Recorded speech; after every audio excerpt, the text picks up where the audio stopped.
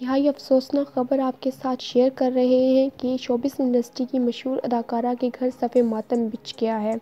हम बात कर रहे हैं हिना अल्ताफ़ की, जो कि आगा अली की बीवी हैं। आज सुबह ही हिना अल्ताफ़ के वालिद वफ़ात पा गए हैं। हिना अल्ताफ़ पर गम का पहाड़ टूट पड़ा है और उन्होंने ये खबर अपने सोशल मीडिया पर अपने फैंस के साथ शेयर की है कि उनके वालिद अब इस दुनिया में नहीं रहे और उन्होंने अपने वालिद के लिए मगफरत की दुआ की अपील भी की है।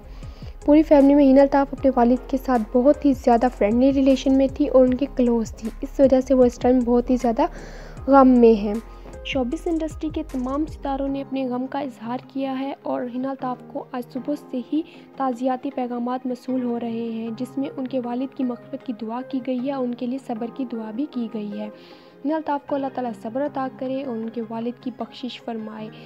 हम फैंस की भी ये दुआ है कि हिना अल्ताफ़ बहुत जल्द इस गम से निकल आएँ और अल्लाह उन पर करम करें और उनके वालिद साहब को जन्नत में आला मकाम अता करे।